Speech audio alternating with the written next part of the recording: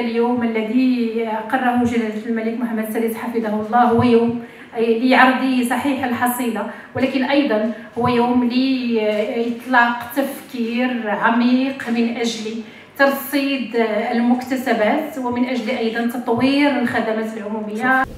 احتفاء باليوم الوطني للمهاجر الذي اقره جلالة الملك محمد السادس حفظه الله نظمنا مجموعة الأنشطة لقاءات عملية بغينا منها نخرج بمخرجات عملية توصيات نستتبعها بمخططات عمل قائمة.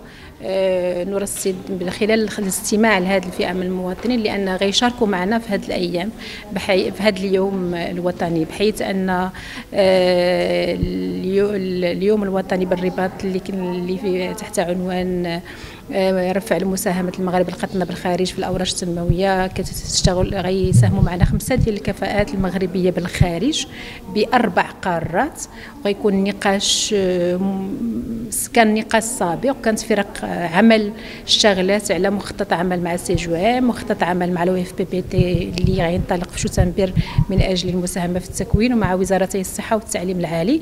بالإضافة للقاء في الوزاره في الناظور اليوم بشراكة مع وزارة العدل شاركت معهم عن طريق عن بعد على أساس أن يكون تفكير للوصول إلى توصيات لمخرجات فيما يتعلق بمنظومة العدالة والمغاربة القاطنه بالخارج. شنو هي المشاكل اللي تعانيها في هذا الكوفيد 19 المهاجر المغربي؟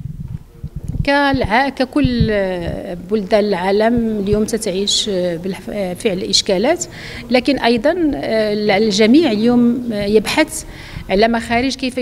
كيف يمكن أن يترجم هذه التحديات إلى فرص فرص لانطلاقات جديدة فرص لاكتشاف أولويات اقتصادية جديدة عندها علاقة بالنمو الاقتصادي العالمي يقال على أنه رغم هذه الأزمة المغاربة في الخارج بقاو على ذاك العهد ديالهم وتيصيفطوا مازال المساهمات ديالهم المالية للعائلات أي تضامنا مع ما يعيشه المغرب.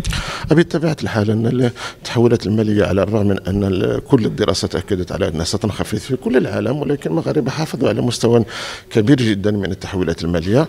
لأن كما قلت لاحظنا أن العملية التضامنيه مستمرة عملية التحويل إلى الأسر مستمرة عملية المساهمة يعني في الاقتصاد المغربي مستمرة وهذا يشكل واحد الضمانه اساسيه يعبر أيضا على الانتماء الحقيقي لهؤلاء المغاربة وعلى الاهتمام الذي يمكنونه للمغرب وعلى الحب أيضا الذين يحملونه في قلوبهم للمغرب.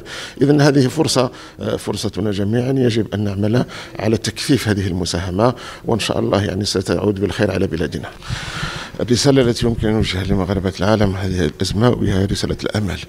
وأن بلادنا الحمد لله في أيدي آمنة وأن صاحب الجلالة يعني سهر بنفسه على مواجهة هذا الوباء وبلدنا حققت نتائج أشاد بها العالم وهي تشكل عنصر افتخار حتى لجاليتنا. Nous avons un réseau, une initiative qui marche très très bien, le FINCOM, l'initiative FINCOM, qui, qui, permet, qui permet justement de mobiliser toutes les compétences marocaines en rapport avec la recherche, toute la diaspora, marocaine installée à l'étranger pour contribuer à, la promotion de la recherche scientifique au Maroc.